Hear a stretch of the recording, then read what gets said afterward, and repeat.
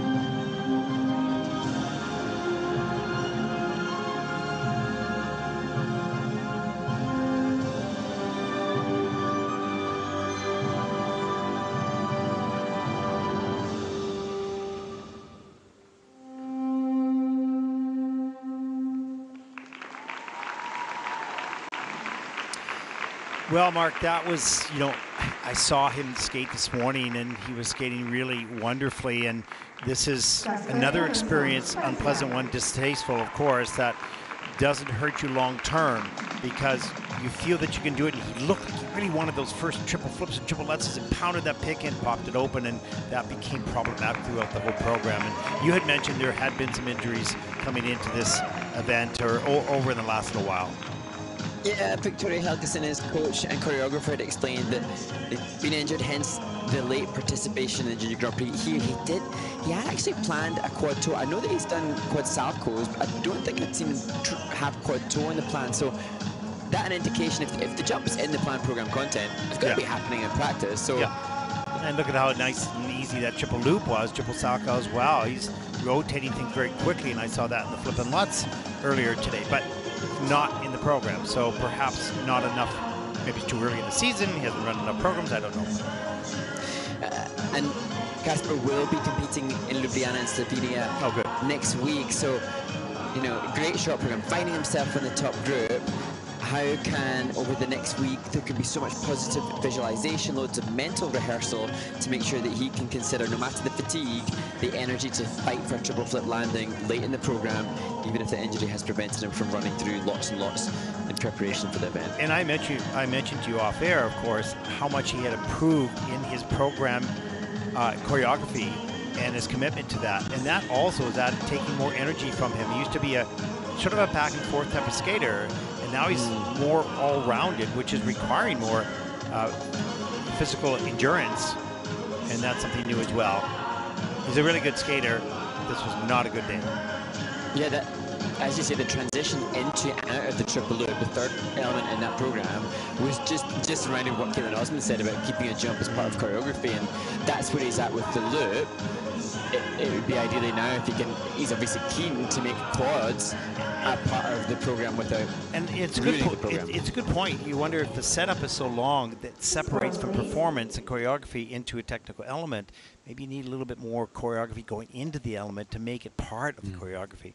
Okay, we're just hypothesizing here, but ruminating. And we're not. 92.30 for Casper Johansson from Sweden. That's 15th in the free program with a 155.69 seventh overall. At this stage of the competition, with four more skaters to come. 155.69 total points. He's currently seventh place.